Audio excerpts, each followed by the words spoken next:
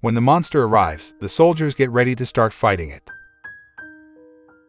They drive the creatures away, and the soldiers slowly get closer to their goal. But when they finally got there, it looked like several tentacles were coming after them. The men give up and start shooting, but one by one they are killed. A few weeks after attacking the soldiers, the same monster was teaching a high school class. The class was called to order by the teacher who looked most like the offspring of an octopus and Pac-Man.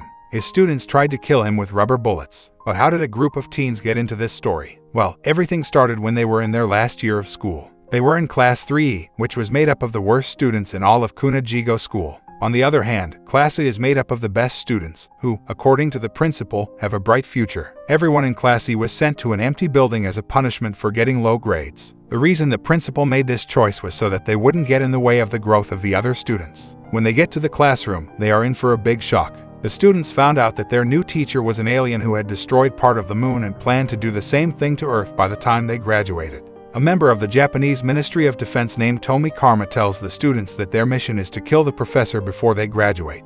If not, the whole world would be destroyed. But there was something wrong. That thing moved very quickly, and not even a professional agent could hit it once. The yellow monster tells the class that he has made a deal with the government in which he says he doesn't mind being killed as long as he can be Class E then. Tomi talks about the bullets and knives that the Ministry of Defense has made. The fact that these weapons were made of a special material that didn't hurt people but killed the monster proved that he was telling the truth. The professor takes the gun out of the man's hand and shoots himself in the tentacle. The students are scared to see what's happening, but within a few seconds, the creature grows a new limb to replace the one that was torn off. No one knows why, the agent tells us. The deal the alien made with the government says that the students are safe because their teacher said he wouldn't hurt them. Lastly, the man says that the person who kills that monster and saves the Earth will get 10 billion yen, which is about $77 million.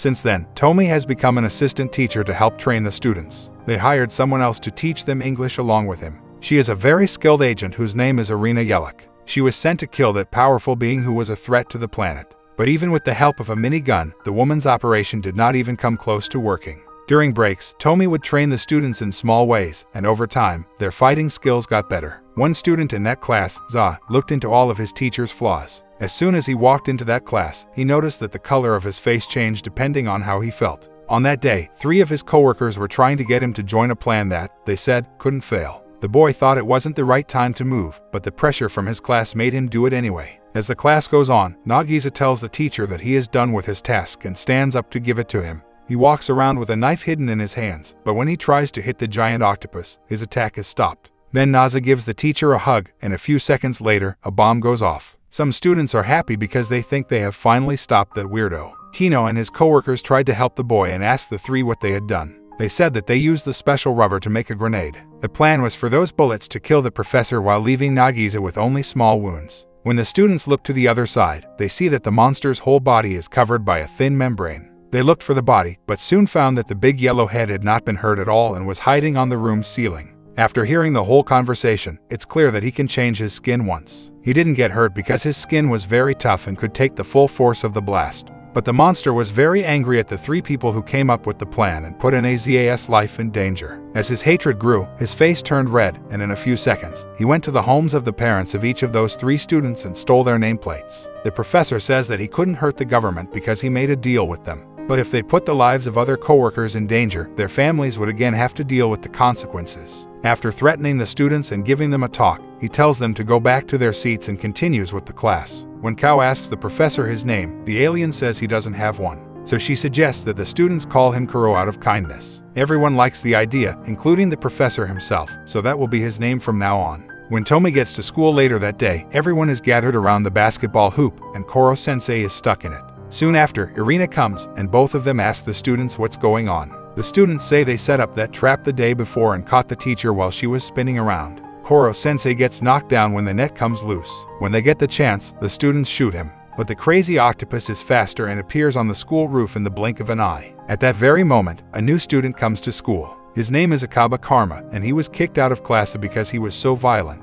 The boy glues some anti-teacher materials to his right hand and tries them out when he meets his new teacher the next day. Koro sensei is surprised to find an octopus stabbed into his desk. Karma says he's sorry and says he killed the animal because he thought it was his teacher at the time. The alien walks up to the boy and says, I'll show you how powerful those tents are. First, he uses the octopus to make takoyaki. Then, he stuffs the boy's mouth with the dumpling and uses the chance to glue fake nails on him.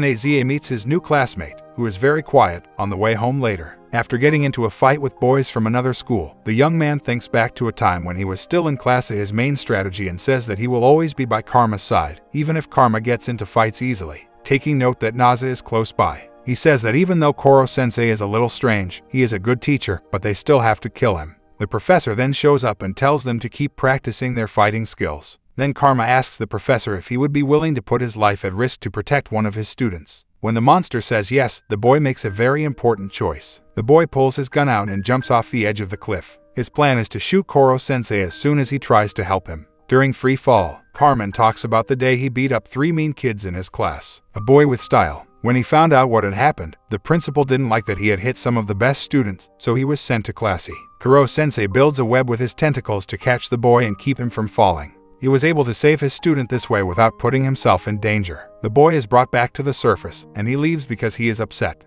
At the Ministry of Defense, the president says that Japan has been attacked with missiles from several countries in the two months since that thing came to Earth. But the alien octopus helped save them in the end. The president even says that he wanted DMI to handle this problem, but since nothing has been done so far, he decided to send a new student to kill that monster. We found out the next day in class that this new student was actually a robot with artificial intelligence. He wanted to get rid of the alien teacher, but it couldn't hurt a student on its first attack. The crazy robot tries to kill Koro sensei with its machine guns. As expected, its blows don't do anything, but that machine is very smart and can learn and change. During class time, the machine kept attacking, which made the other students very unhappy because they could barely pay attention to what was being taught. In the end, we still had to clean up all the mess the robot made, but the machine was making progress on its mission because it could learn quickly. It was now only a 0.001% chance that it would hit the teacher on the next try. If it kept going this way until they graduated, that number would go up to 90%. However, this percentage doesn't mean anything to the students. All they care about is not being bothered in class, so they want to find a way to stop the robot from shooting. They put it in chains so it can't use its weapons. Koro sensei walks up to his newest student after class and shows him a stack of papers with information about all of his students. This way, the robot could watch its coworkers to learn how to get along with them and get things done. Students get a message on their phones the next morning when they get to school. When they open the message, the AI tells them that it has decided to turn itself into an app to make it easier for its co to talk to it. It also says that it will stop trying to get rid of the teacher by itself and will instead try to learn how to work as a team. Everyone agrees to call the new student Ritsu when Kao suggests it again. The robot says that a new student has moved and will be coming to the school soon. A boy with white hair falls from the ceiling just after Koro Sensei walks into the room. Then a man dressed like a beekeeper walks in and tells the boy to use the door. The next time he sees the boy, he will say that he is the boy's guardian, Shiro, and apologize for what happened. Ritsu tells its friends that this is Hark and that they went to the special agent school together. The boy says he is stronger than everyone else there and asks Koro Sensei to fight him. The professor agrees to the duel, and Shiro sets up a single rule that says the loser is the first person to leave the area made by the desks. As soon as the fight starts, he makes his first move. Ike can pull off one of the tentacles of the professor. Everyone is surprised when the boy shows that he has tentacles coming out of him. When Koro sensei thinks back to his past, he sees that the boy's tentacles are still growing. This makes the teacher angry. The boys hit the professor, but he dodges all of their blows and sheds his skin to get rid of them. As he hangs from the ceiling, this is the second time in the same month that he has used his secret defense. His tentacles regenerate, and Professor Octopus is about to run out of energy. Because of this, he can't move out of the way of the next attack, so that boy beats him up. After he has recovered from the blows, he admits that this is the first time he has fought someone on his level. But he is not easy to give up on. Koro Sensei weakens his enemy by using a rubber knife made by the Ministry of Defense, as his tentacles were made of the same stuff as the rest of the octopus. When the boy's tentacles were rounded up, it slowed him down, so the teacher used the chance to throw Iena out of the sea. Even though the professor's skin kept him from getting hurt, the boy was out of the ring. He lost the fight because of this. Shiro then takes his student with him and says they will be back. Soon, when class was almost over, Naza and Kyo went up to the teacher to ask why he chose to teach Class East. At that moment, Koro sensei says he did it to keep a promise to someone else. He still couldn't say who that person was or what he had promised. Then Naza asks if there is anything they can do now to make it easier to kill the alien professor in the future. When asked this question, Koro sensei tells the students that they should spend the weekend at school to study, just like he does. This would give the other students one more chance to get rid of him. The class agrees with the idea, and the teacher calls the activity for the weekend assassination training. Koro sensei uses his super speed to teach each student individually, giving them lessons in the subjects they were having the most trouble with that night. Meanwhile, Tomi gets a call from his boss, who tells him that a new coach has arrived. The next morning, Koro sensei comes to Tai's room right after he wakes up. When asked about his love life, Tai starts to think and remembers the moment he lost his lover. As agreed, Taka was there the next morning. Kira goes to school and tells everyone that he will be the new kid in classy but before he starts training, he brings the students breakfast, and they like their new sensei right away. Later, Irina goes to talk to Tomi about her friend Takaoka, who she served with in the army. She tells Tomi that Takaoka's way of teaching is to get close to his students and make them feel like their family. The problem with this is that the second day of training and talk starts right after he starts being a dictator and even starts beating up students. Kazaki gets sick and falls down. So the trainer asks the girl if she is alright. She says she can't take it anymore and would rather train with Mr. Tomi. At that point, the man gets up and gives the girl a slap. All of the students get together and ask the teacher to let their classmate go, but the man is determined to teach her a lesson. But Tomi comes up and grabs his fist before he can land the second blow. He tells that crazy person to leave his students alone. Taka says that Tai's ways of training aren't good, and that's why those teens were so weak. He tells the man to pick his best student to fight with him, and if that student is able to put the knife to his body even once, he will admit defeat and leave that school. Then Tomi picks Naza, but tells him he doesn't have to do this if he doesn't want to. But most of the students didn't even know that Naza is good at killing by nature. The boy is very good at hiding this skill behind his calm personality, but he has a strong desire for blood. The boy can't hide his happiness when he has to face Taka. He smiles and walks toward the man, who was very sure of himself, but as soon as he sees the boy's face, he is completely speechless. At that moment, Nagisa puts the knife into the coach's neck and knocks him down. The man gets very angry and wants to fight again. He couldn't stand to lose to such a brat, but Nagisa keeps reminding him of the deal. He thanks Takeaka for what he taught him, but he tells him to take his loss and leave in shame. He decides to leave, and all of the students thank Naza for getting rid of that crazy psycho. Even though it is raining, school is still in session. When Koro sensei walks into the room, everyone notices that something is wrong with him. The octopus's head was so big because it had taken in so much water science. It was almost time for class, and Okuda tells her teacher to drink the poison. She used everything she knew to get ready. Everyone makes fun of the girl's innocence, but Koro sensei decides to drink that strange liquid with her. So, his face gets pale, and all of a sudden, horns start growing on his head. Finally, his whole body turns white, as if it were frozen. He quickly gets better, though, and thanks Okuda for making such a strong poison out of sodium hydroxide, which kills humans but doesn't hurt him. Lastly, he tells her that he would be happy to show her how to make a poison that is even more dangerous. Koro sensei runs away while his students try to catch him by making his body as thin as a blade. After a few minutes, he goes back to normal and tells the students to call Professor Tomi and Professor Irina and meet in the schoolyard. Koro sensei tells the students that a good agent should always have a plan B in case plan A doesn't work. Suddenly, the teacher takes off like a rocket and destroys everything on the way back to school. He just threw a bomb into the air. The alien then leads the students back to the classroom and tells them that on their next test, they will have to use all of their knowledge to make a perfect plan to kill him. He says that the students who get the best grades in each subject will be able to cut off one of his tentacles to help them on their quest. With each tentacle he loses, his speed slows down, which makes it more likely that the students will be able to kill him. Koro sensei gave his students a great reason to put an even more effort into their studies. As the class ended and the students went home, the teacher decided to give his best English student, Nakamura, a chance to use the language in real life. So Koro sensei takes her to the US, where she can talk to them directly. The best math student went to China to figure out how high the Great Wall was, and Kayano went to Italy to figure out how much the Tower of Pisa tilts. In this way, all of the students were able to go to school outside of Japan. After the test in Koro, Sensei was able to finish his graduation photo album.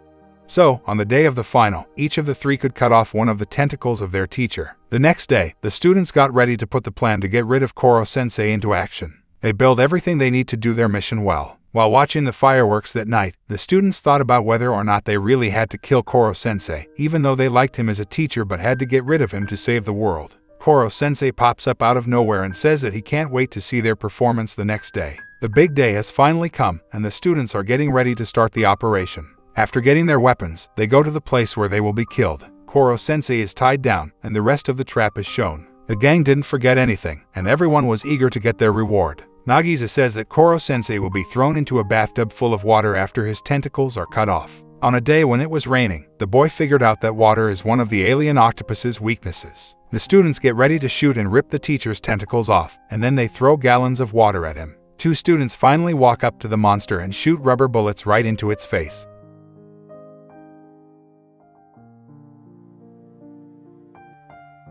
Soon after that, the students found him, but his whole body was gone. Only his head was left, which was wrapped in a crystallized pellicle with a high density that could protect him from anything outside. Even the special bullets couldn't do anything. That was Koro sensei's only defense, which not even a nuclear bomb could break. So, the students come up with the plan to put him in a pool full of anti-teacher bullets. When the pellicle broke, the bullets would kill the octopus as soon as they hit it. But Koro sensei says that if that happens, he can explode again and throw out all the bullets before he gets hurt. All of a sudden, with no explanation, some of the students start to pass out, and Kino figures out that they have a very high fever. The man tells Taka and his friends that before he left, he put a virus in before he left. Some students drinks. He even says that if they don't take the antidote within three days after getting the virus, they will die. In this case, it was clear that he was the only one who knew how to stop that virus. Takayaka says that he is there to get back at NASA because he has become a laughing stock at the Ministry of Defense because of him.